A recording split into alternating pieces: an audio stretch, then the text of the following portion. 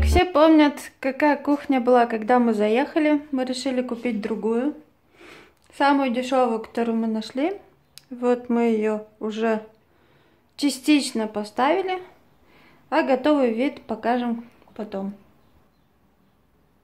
В Германии, чтобы что-то купить, недостаточно просто пришел, увидел, о, мне нравится этот стол, взял и купил. Нет, вот тебе приходит столешница, и вот непонятно, что еще. Но они пронумерованы. И есть инструкция. инструкция. И можно по инструкции собрать. И тут детям нельзя стоять. Только взрослые могут стоять. Да. Стулья тоже.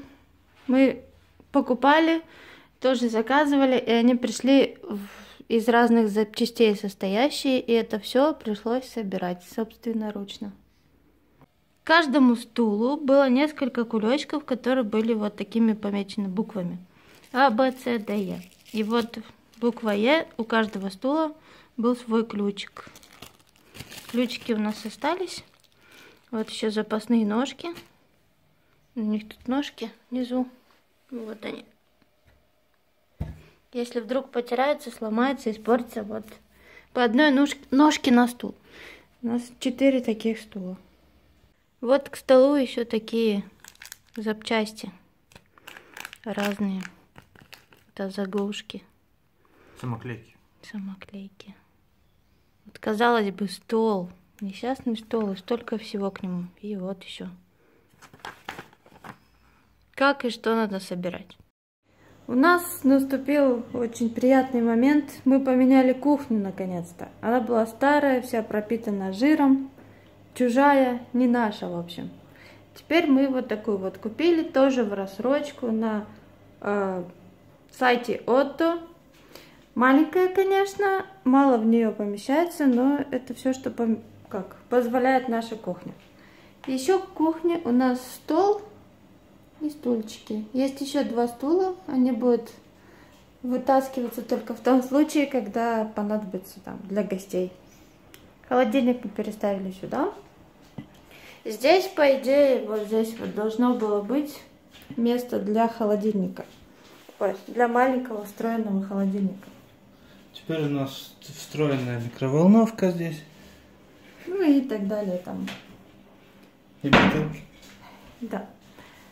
Э, фартук мы поменяем, еще не определились на что конкретно. Раковина входила в, как называется, в комплект кухни.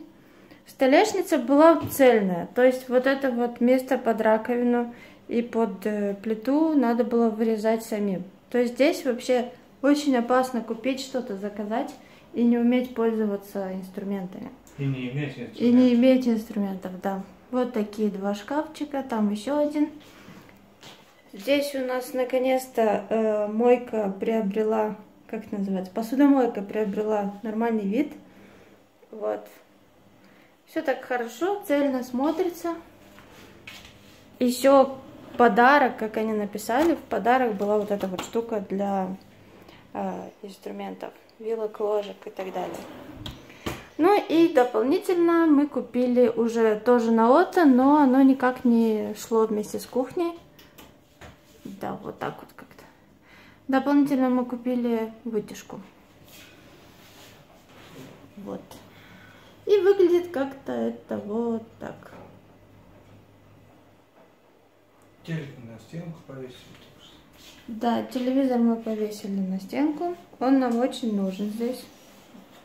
Он двигается, выезжает. Его можно направить в любое место, где бы вы ни сидели.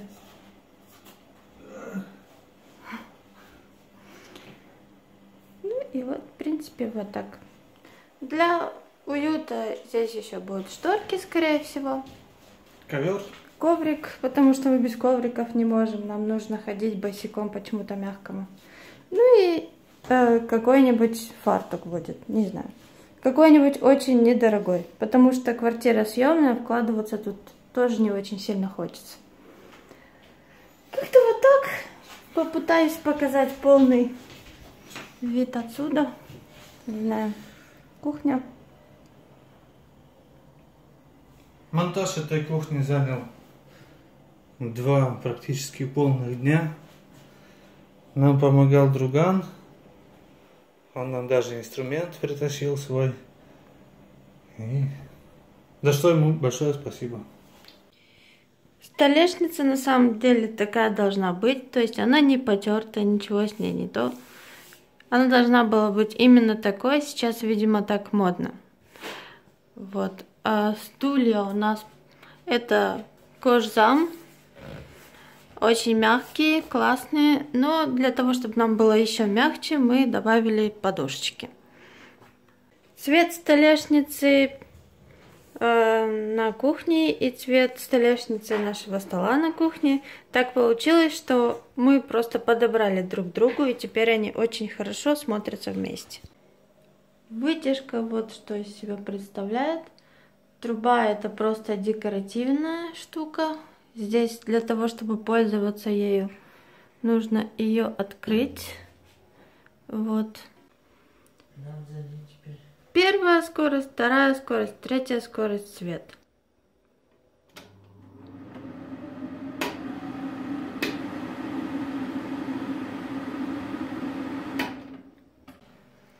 Тут такие три ящика. Вот. Мы пока еще не определились, что тут хранить.